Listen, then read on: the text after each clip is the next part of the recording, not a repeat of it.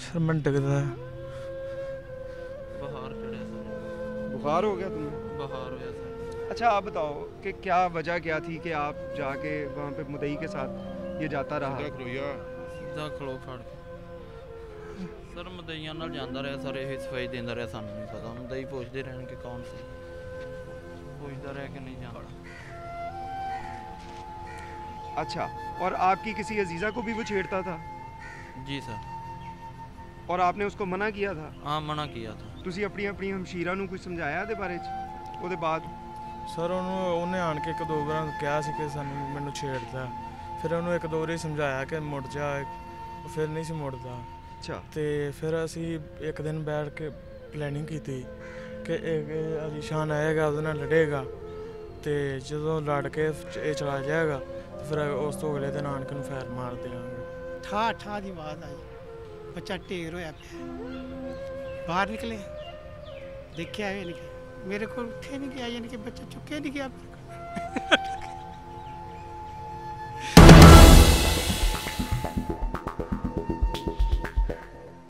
city news network digital media के साथ मैं हूँ इरफान मलिक। और आज हम जिस जुर्म की दास्तान के बारे में बात करेंगे, ये इसमें चार साल कबल एक नौजवान जो बर्गर फरोश था, उसको कत्ल किया गया। चार साल तक मुलजमान क्यों पुलिस की गिरफ्त में नहीं आए और इस कत्ल के पीछे क्या महरक़ात थे आज स्टोरी में जानेंगे। चार साल कबल सदर गोल चक्कर के करीब मेहनतकश बर्गर फ्रोश एहसान को कत्ल करने वाले तीन मुलजमान पुलिस ने गिरफ़्तार कर लिए हैं। अपना नाम बताइएगा। जिशान जिशान आपने गोली चलाई थी आपने कत्ल किया जी, था। जी, जी। क्या वजह क्या थी? वजह जैसे सर उधर बैठते थे उधर से लड़कियाँ गुजरती थी तो छेड़ता उसको दो चार मरतबा रोका था वो आगे से लड़ता था। वहाँ पे क्या करते थे सर उधर दूध दही की दुकान थी शहजादी की उधर बैठते बूटते थे किसकी दुकान थी शहजादे की शहजाद की हाँ जी अच्छा अच्छा और आपकी किसी अजीज़ा को भी वो छेड़ता था जी सर और आपने उसको मना किया था हाँ मना किया था क्या हुआ क्या था आप बताएंगे ਸਰ ਉਹਨਾਂ ਨੂੰ ਇੱਕ ਦੋ ਵਾਰਾਂ ਸਮਝਾਇਆ ਸੀ ਕਿ ਮੁੜ ਜਾ हम्म, ਉਹ ਫਿਰ ਅੱਗੋਂ ਸਾਡੇ ਨਾਲ ਲੜਦਾ ਸੀ अच्छा ਤੇ ਫਿਰ ਅਸੀਂ ਇੱਕ ਦਿਨ ਬੈਠ ਕੇ ਪਲੈਨਿੰਗ ਕੀਤੀ ਕਿ ਅਲੀਸ਼ਾਨ ਆਏਗਾ ਉਹਦੇ ਨਾਲ ਲੜੇਗਾ ਤੇ ਜਦੋਂ ਲੜ ਕੇ ਇਹ ਚਲਾ ਜਾਏਗਾ ਤੇ ਫਿਰ ਉਸ ਤੋਂ ਅਗਲੇ ਦਿਨ ਆਣ ਕੇ ਨੂੰ ਫੈਰ ਮਾਰ ਦੇਵਾਂਗੇ ਤੇ ਪਹਿਲੇ ਦਿਨ ਜਿਹੜੇ ਉਹਦੇ ਨਾਲ ਲੜੇ ਹੋ ਉਸ ਦਿਨ ਹੀ ਫਾਇਰ ਮਾਰਿਆ ਉਹਨੂੰ? ਨਹੀਂ ਉਸ ਉਸ ਦਿਨ ਹੀ ਮਾਰਿਆ ਨੂੰ ਫਿਰ। ਇਹ ਮਨਸੂਬਾਬੰਦੀ ਕਿਉਂ ਕੀਤੀ ਗਈ ਔਰ ਇਹਦੇ ਨਾਲ ਕੀ ਫਾਇਦਾ ਮਿਲਣਾ ਸੀ ਤੁਹਾਨੂੰ? ਬਸ ਸਰ ਗਲਤੀ ਹੋ ਗਈ ਹੈ। ਤੁਸੀਂ ਆਪਣੀ ਆਪਣੀ ਹਮਸ਼ੀਰਾ ਨੂੰ ਕੁਝ ਸਮਝਾਇਆ ਇਹਦੇ ਬਾਰੇ ਚ? ਉਹਦੇ ਬਾਅਦ? ਸਰ ਉਹਨੂੰ ਉਹਨੇ ਆਣ ਕੇ ਇੱਕ ਦੋ ਵਾਰ ਕਿਹਾ ਸੀ ਕਿ ਸਾਨੂੰ ਮੈਨੂੰ ਛੇੜਦਾ।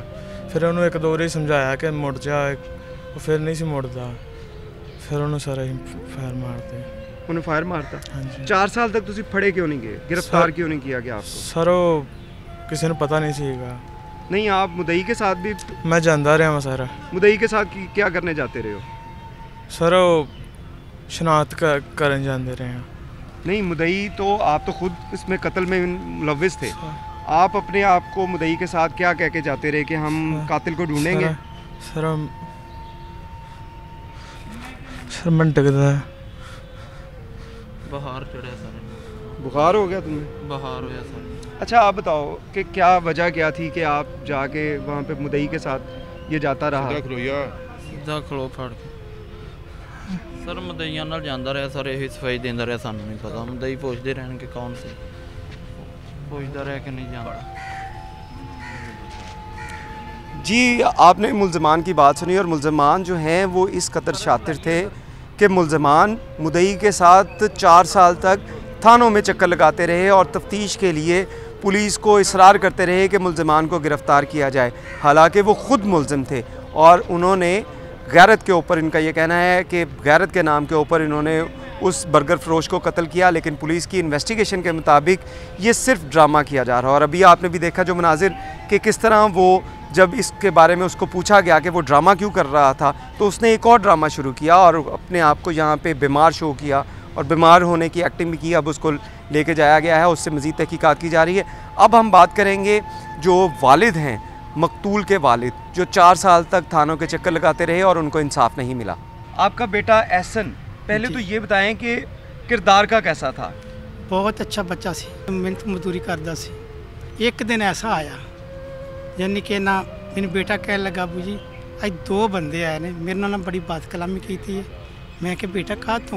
अज तू बर्गर महँगा बेचना तो तू यानी कि ना उन्हें कहा बेटा तू भाई मुँह तो खा लो यार। मैं तो पैसे भी लेंदा तुझ खा लो। तो बोलना कि इंज कर करके चला गया। जिस दिन निकल हुई मैं क्या बेटा कोई गल नहीं। अल्लाह तला रोज़ी देंदा एक दिन गुजरिया यानी कि एक दिन गुजरे, जुम्मे आले दिन रात दे सवा ग्यारह बजे ठा ठा की आवाज़ आई। बच्चा ढेर होया पे बाहर निकले। देखा है, यानी मेरे को उठे नहीं गया, यानी कि बच्चा चुके नहीं गया। उस तो बाद ये जो जो सामने से, ये कहता मैं क्या पुत्रो ਸੀ ਇਹ ਕਹਿੰਦਾ ਮੈਂ ਕਿਹਾ ਪੁੱਤਰੋ ਤੁਸੀਂ ਇੱਥੇ ਰਹਿਣ ਵਾਲੇ ਹੋ ਮੈਂ ਨਵਾਨ ਕਿੱਥੇ ਬੈਠਾ ਹਾਂ ਮੇਰੀ ਕਿਸੇ ਨਾਲ ਦੁਸ਼ਮਣੀ ਨਹੀਂ ਦੀ ਕੋਈ ਲੈਣੀ ਨਹੀਂ ਕੋਈ ਦੇਣੀ ਨਹੀਂ ਮੈਂ ਮਜ਼ਦੂਰੀ ਕਰਨ ਵਾਲਾ ਇਨਸਾਨ ਆ ਮੈਨੂੰ ਦੱਸੋ ਕਿ ਕਿਹਨੇ ਗੱਲ ਕੋਈ ਨਹੀਂ ਜੀ ਇਹ ਮੇਰੇ ਨਾਲ ਇੱਕ ਦਿਨ ਠਾਣੇ ਵੀ ਗਏ ਨੇ मकतूल के वालिद की आपने बात सुनी अब हम बात करेंगे डीएसपी सीएए कोतवाली इस वक्त हमारे साथ फारूक अवान साहब मौजूद हैं उनसे बात करेंगे फारूक अवान साहब ब्लाइंड मर्डर चार साल बाद ट्रेस किया गया किस तरह आपको क्लू मिला और मुलजिम के जो क्योंकि वो मुदई के साथ खुद भी फिरता रहा था इसके ऊपर आपको कैसे शक गया? ये चूँकि पुलिस की किताब में कभी भी मुकदमा बंद नहीं होता ये चलता रहता है। तो सी आई ए में चूँकि हमारा काम ही ऑर्गेनाइज क्राइम को देखना है तो ये इनके जो सी डी आर और वो मैं अब बताना नहीं चाह रहा जिस वजह से हमने पकड़ा फिर ये इससे एजुकेट हो जाते हैं। चार साल तक लोकल पुलिस इसको क्यों नहीं पकड़ पाई? ये साथ साथ था मुदई के साथ जाके खाके भी बनवाता था सारी चीज़ें खुद भी करता रहता था इन्वेस्टिगेशन में। इसके ऊपर शक क्यों नहीं गया क्या वजूहत थी कि इसके ऊपर कभी जो है इसको इंटेरोगेशन नहीं की गई इसकी इसके ऊपर शक की बिना नज़र में देखा नहीं गया? मेरे ख्याल में ना लोकल पुलिस ओवर बर्डन है। बहुत ज़्यादा मुकदमात होते हैं। तो वो एक के बाद एक और फिर उसके बाद एक। तो इस वजह से शायद वो उनकी भी कोई एफर्ट या कोशिश में कमी तो नहीं होगी। मेरा ख्याल ये है कि ओवर बर्डन है उस वजह से ओवरलुक हो गया।